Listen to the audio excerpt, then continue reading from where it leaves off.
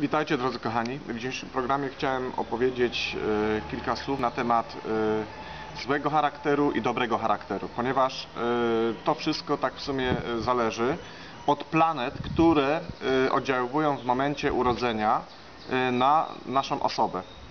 Czyli po prostu nie tylko asocjacja w złym towarzystwie powoduje, że osoba jest zła, ale również y, osoba, która ma tendencję do czynienia zła, do robienia krzywdy drugim osobom, również to wszystko jest uwarunkowane przez układy astrologiczne, które są y, w momencie jej urodzenia. Właśnie miałem tutaj przyjemność mieć osobę, mieć y, pewną znajomą, która miała oddziaływanie pewnej złej planety na swoją osobę. Dodam, że takie oddziaływanie y, jest bardzo niekorzystne, ponieważ osoba się zachowuje w sposób y, niewłaściwy.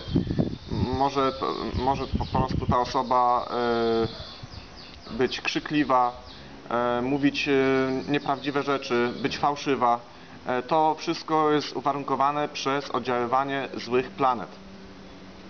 I odwrotnie, jeżeli osoba ma e, dobre planety, ma e, dobre oddziaływanie dobrych planet, wówczas mimo, że znajduje się nawet w złym towarzystwie, e, jakby to oddziaływanie negatywne złego towarzystwa jej nie dotyka, ponieważ ta osoba ma bardzo dobre układy astrologiczne, ma bardzo dobre planety, osoba jest silna mentalnie, jest silna duchowo, e, także jakby oddziaływanie e, zewnętrzne, jakichś środowisk, w których się znajduje, nie, jakoś specjalnie nie oddziałuje, zawsze ma, jak to się mówi po polsku, siłę prze, przebicia, przebicia i e, złe energie mm, nie mają jakby do niej dostępu, po- ponieważ układy astrologiczne, które były w momencie urodzenia danej jednostki, były tak pozytywne, były tak korzystne, że e, mimo wszelkich e, przeciwieństw losowych, ta osoba zawsze sobie w życiu jakoś radę daje. I e, przeciwnie, jeżeli osoba miała złe układy, złe planety, e, na przykład w Indiach jest e, taka planeta Rahu, która jest bardzo negatywna. Są oczywiście inne planety, których nazw w tej chwili nie pamiętam e, i które oddziałują negatywnie na e, jednostkę w momencie jej urodzenia już. Także jeżeli osoba jest negatywna, no to wówczas ma ca- cały czas jakieś problemy ze społeczeństwem, e, w społeczeństwie z prawem i tak itd. itc.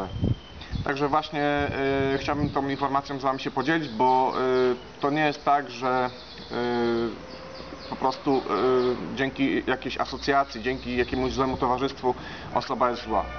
Osoba może być zła już od urodzenia, po prostu mając złe układy astrologiczne. To musicie sobie zapamiętać, że e, układy astrologiczne bardzo e, jakby dają duże oddziaływanie na charakter danej osoby. I jeżeli macie okazję sprawdzić e, wasz układ astrologiczny, zrobić sobie porządny horoskop, gdzie można dokładnie zobaczyć, jak na gołej ręce, że takie, a nie inne planety oddziaływują na was, no to możecie się mm, przed tym jakoś potem jakoś zabezpieczyć. Ja polecam do zabezpieczenia się przed złymi planetami, przed złymi układami astrologicznymi w momencie urodzenia. E, Polecam noszenie opala. Jak również polecam noszenie szafira, który jest kamieniem też e, w mniejszym stopniu ochronnym, ale też jest bardzo dobry.